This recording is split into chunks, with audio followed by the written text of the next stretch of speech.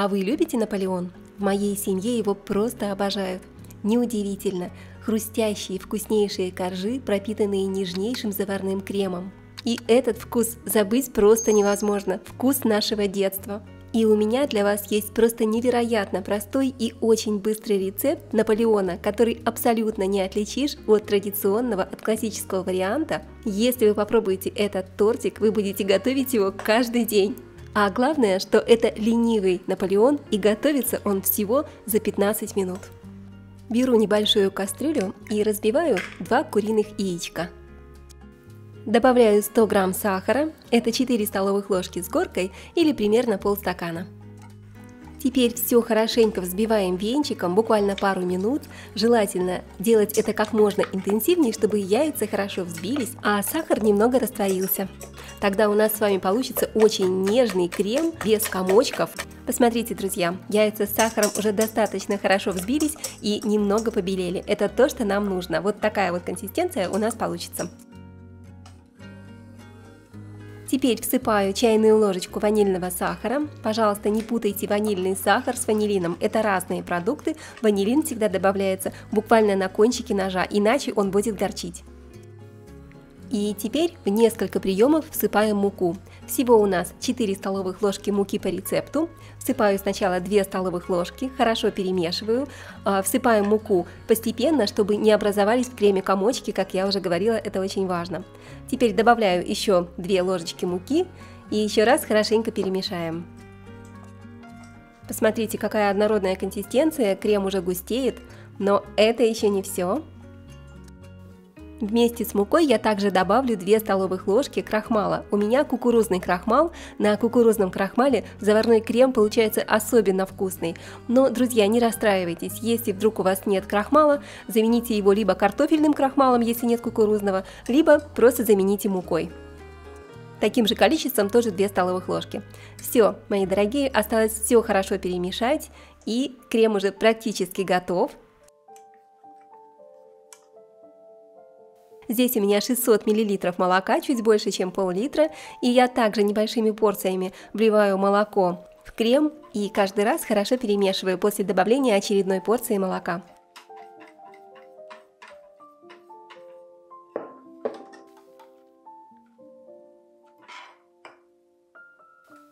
Включаю плиту и ставлю кастрюльку с кремом на огонь. Варю заварной крем на среднем огне до закипания.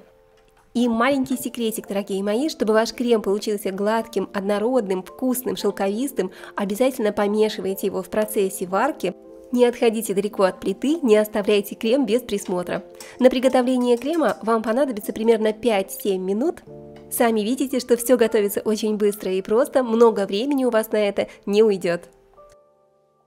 И посмотрите, в процессе нагревания, в процессе варки крем начинает густеть, вот такая вот у него консистенция, но он еще недостаточно густой, поэтому продолжаем варить.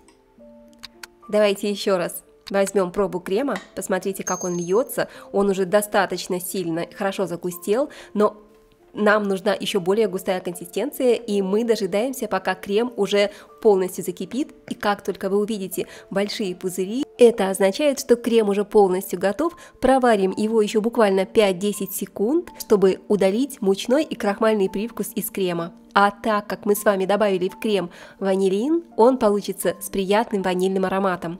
Также я добавляю в крем в, кон- в самом конце приготовления небольшой кусочек сливочного масла для того, чтобы, опять же, а, придать еще больше вкуса, текстуры и нежности заварному крему.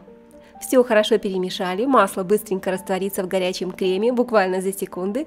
И посмотрите, вот такая шикарная консистенция. Аромат стоит, друзья, просто потрясающий, разносится по всему дому. Это вкус и аромат нашего детства, так что ради только приготовления этого крема уже стоит приготовить этот тортик, потому что приготовление этого Наполеона – это сплошное наслаждение и удовольствие. Честное слово, любимые мои, этот Наполеон готовится до неприличия просто. Так что с его приготовлением легко справится даже ребенок. Кстати, вы можете спокойно привлечь детей к приготовлению, они очень любят этот процесс. Тем временем готовый крем я перелила в миску, чтобы он быстрее остыл. Этого можно не делать, вы можете использовать теплый крем и сразу же начать собирать торт.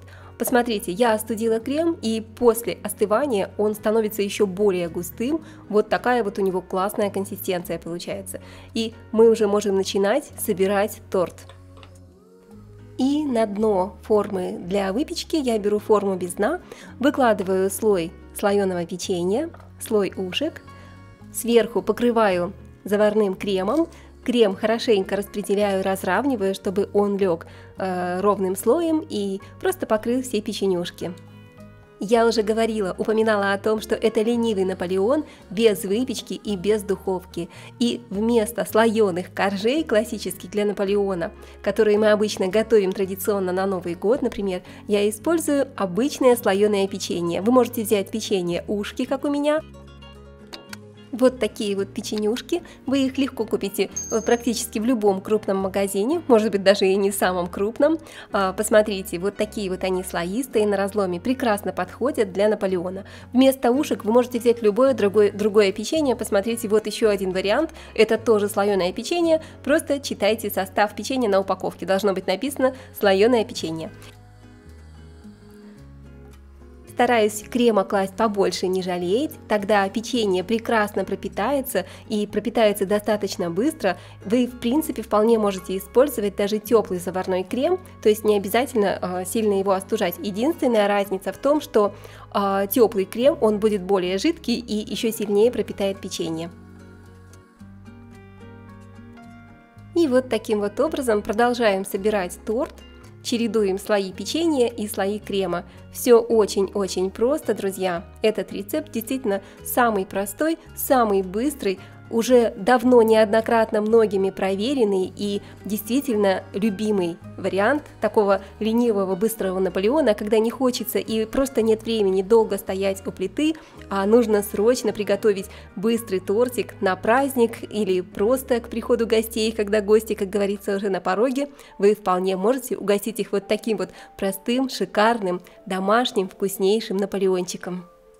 Уверяю вас, друзья, как сама хозяйка, так и гости будут в полном восторге. Хозяйка от скорости приготовления этого вкуснейшего десерта, вкуснейшего тортика, а гости от его потрясающего нежного вкуса. Посмотрите, мои дорогие, мы с вами уже полностью собрали торт. Я пустоты тортика заполняю половинками печенюшек. Можете отламывать кусочки, можете покрошить э, печенье в виде крошки – и все уже практически готово. Осталось еще раз распределить сверху крем. Наш Наполеон уже готов, и можно сразу же его украсить. Для украшения я также использую пару слоеных печенюшек, пару ушек.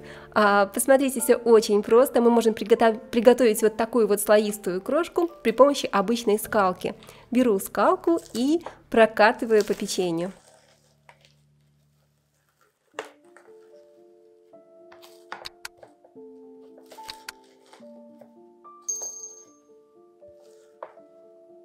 Посмотрите, вот такая красота, такая красивая очень крошка получается, она достаточно крупная, не слишком мелкая, просто идеальный размер, ну, идеально подходит для Наполеона, получится очень красиво. Посыпаем сверху торт, и осталось только убрать тортик в холодильник, чтобы он все-таки немного пропитался. Оставьте в холодильнике его хотя бы на пару часов, но, конечно, чем дольше, тем лучше. Принцип всех тортов, а, чем дольше они пропитываются в холодильнике, тем более а, пропитанными, сочными и нежными получаются. Поэтому минимально это пару часов, но лучше оставьте на ночь. Смотрите, ориентируйтесь по вашим возможностям, а, смотря насколько быстро вам нужно приготовить торт, все зависит от вашего вашего времени, от ваших обстоятельств, друзья. А наш Наполеон уже полностью готов, и можно смело собирать гостей или звать всю семью на вкуснейший тортик с чашечкой чая. Можно подавать Наполеон прямо в таком виде, можно больше ничего не украшать, друзья, но если хотите, традиционно вы можете украсить боковины торта.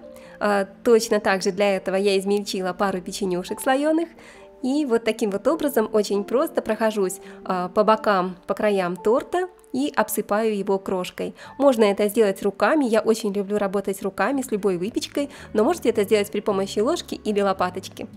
Посмотрите, все готово. Вот такая вот невероятная красота получилась.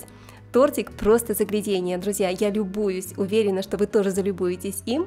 А также у меня осталось совсем немного заварного крема, я думаю, ну зачем пропадать добру? В конце концов, а, можно сделать вот такое очень простое, элементарное, но очень оригинальное и красивое украшение. Просто отсадите оставшийся заварной крем в виде капелек. А, если у вас нет такого кондитерского мешка, возьмите обычный пакет, желательно, чтобы он был плотный, срежьте кончик и посмотрите. Вуаля! Вот такая красота, как говорится, как в лучших домах Парижа. Я думаю, что кондитеры нам позавидуют, дорогие хозяюшки, потому что такой тортик в магазине точно не купишь. Несмотря на то, что он так быстро и просто готовится, поверьте, вкус у него просто потрясающий. Поэтому будьте готовы к тому, что ваши друзья, соседи и близкие будут просить у вас рецепт и не жалейте, делитесь рецептом с друзьями, э, с вашими родными, любимыми. Ну что, уже не терпится скорее попробовать. Давайте отрежем кусочек и попробуем эту невероятную вкуснятину. Режется очень легко, друзья, нож входит идеально. Вау, вы только посмотрите, этот разрез, он просто восхитительный мы видим слои печенья, а, слои крема. Смотрится просто потрясающе. М-м, это просто сказка, мои любимые.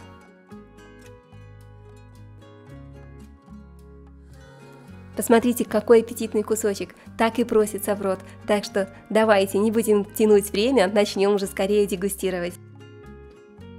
Друзья, как я говорила, если оставить торт в холодильнике пропитываться на пару часов, он получится нежный, вкусный и вы сэкономите кучу времени на его приготовление.